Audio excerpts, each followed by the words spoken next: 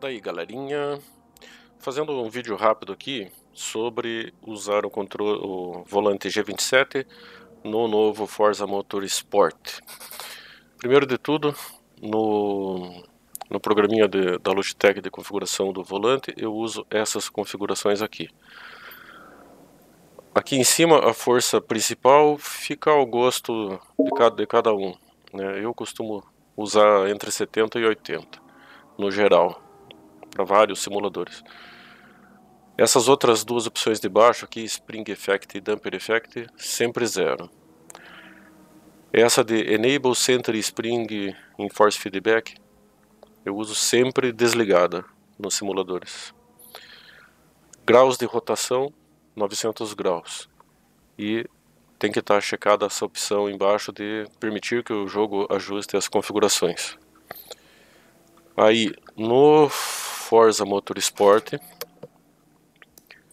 é, o volante vai aparecer em, em entrada e entrada avançada.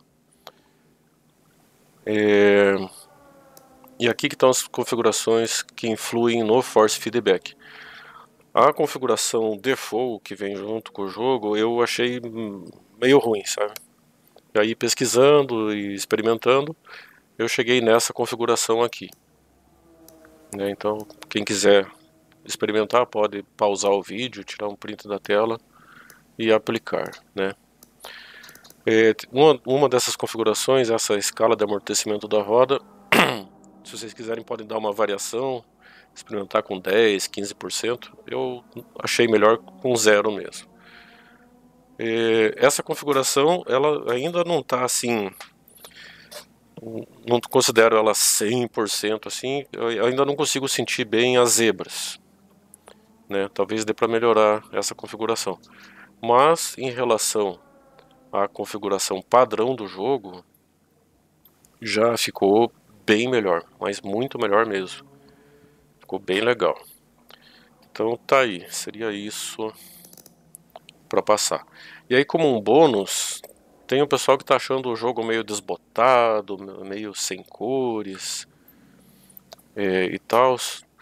Aí tem um amigo LG Games, ele tem canal na, na Twitch, tem canal no YouTube, que ele tem, ele tem uma dica de como melhorar isso para quem tem placa de vídeo da Nvidia, que tem um, você consegue aplicar alguns filtros na imagem, né? É, então, é, esse videozinho dele eu vou deixar o link na descrição para vocês poderem assistir lá. E aí dá uma prestigiada nele também, ele tem um canal muito legal, bem focado em automobilismo, ele joga vários jogos de corrida.